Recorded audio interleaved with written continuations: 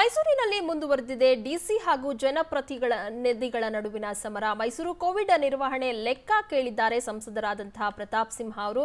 Covid ಖರ್ಚು ವೆಚ್ಚದ ಬಗ್ಗೆ ಉಸ್ತುವಾರಿ ಸಚಿವ ಸರ್ಕಾರಕ್ಕೆ ಪ್ರತಾಪ್ ಸಿಂಹ ಪತ್ರವನ್ನ ಬರೆದಿದ್ದಾರೆ. ಜಿಲ್ಲಾಡಳಿತ ಖರ್ಚು ಮಾಡಿರುವಂತಹ ಮೂವತ್ತೊಂಬತ್ತು ಕೋಟಿ ರೂಪಾಯಿಗೆ ಲೆಕ್ಕ ಕೊಡಿ. ಸ್ಥಳ ಪರಿಶೀಲನೆ ಮಾಡದೆ ಸ್ಟೇಟ್, ಸ್ಟೇಟ್ಮೆಂಟ್ ಆಸ್ಪತ್ರೆಯಲ್ಲಿ ಅನುಮತಿಯನ್ನ ಕೊಟ್ಟಿದ್ದು ಹೇಗೆ? ಸ್ಟೆಪ್ ಡೌನ್ ಆಸ್ಪತ್ರೆಯಲ್ಲಿ ಯಾವ ರೀತಿಯಾಗಿ ಅನುಮತಿಯನ್ನ ಕೊಟ್ರಿ ನೀವು? N D R F fund ಮೂಲಕ ನಲವತ್ತೊಂದು ಕೋಟಿ ರೂಪಾಯಿ ರಿಲೀಸ್ ಆಗಿದೆ. ಇದರಲ್ಲಿ ಮೂವತ್ತೊಂಬತ್ತು ಕೋಟಿ ರೂಪಾಯಿ ಖರ್ಚಾಗಿದ್ದು, ಇದಕ್ಕೆ ಲೆಕ್ಕ ಕೊಡಿ ಅಂತ ಪ್ರತಾಪ್ ಸಿಂಹ ಅವರು ಕೇಳಿದ್ರು. ಇದಕ್ಕೆ ಪ್ರತಾಪ್ ಸಿಂಹ ಪ್ರಶ್ನೆಗಳಿಗೆ ಡಿಸಿ ರೋಹಿಣಿ ಸಿಂಧೂರಿ ಅವರು ದಾಖಲೆ ಸಮೇತವಾಗಿ ಉತ್ತರವನ್ನ ಕೊಟ್ಟಿದ್ದಾರೆ. ನನ್ನ ಗಮನ ಕೊರೋನಾ ನಿಯಂತ್ರಣಕ್ಕೆ ಮಾತ್ರ. ವೈಯಕ್ತಿಕ ಆರೋಪಗಳಿಗೆ ನಾನು ಗಮನ ಕೊಡಲ್ಲ. ಪತ್ರದ ಮೂಲಕ ಸಂಸದ ಪ್ರತಾಪ್ ಸಿಂಹಗೆ ತಿರುಗೇಟನ್ನ ಈ ಮೂಲಕವಾಗಿ ರೋಹಿಣಿ ಸಿಂಧೂರಿ ಅವರು ನೀಡಿದ್ದಾರೆ. ಹಣದ ಲೆಕ್ಕವನ್ನ ಪತ್ರದ ಮೂಲಕ ನೀಡಿದ್ದಾರೆ ಜಿಲ್ಲಾಧಿಕಾರಿ ರೋಹಿಣಿ ಸಿಂಧೂರಿ.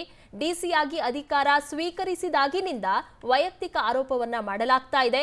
ಜುಲೈ ಒಂದರ ವೇಳೆಗೆ ಕೊರೋನಾ ಮುಕ್ತ ಮೈಸೂರು ನನ್ನ ಗುರಿ ಅಂತ ರೋಹಿಣಿ ಸಿಂಧೂರಿ ಹೇಳಿದ್ದಾರೆ.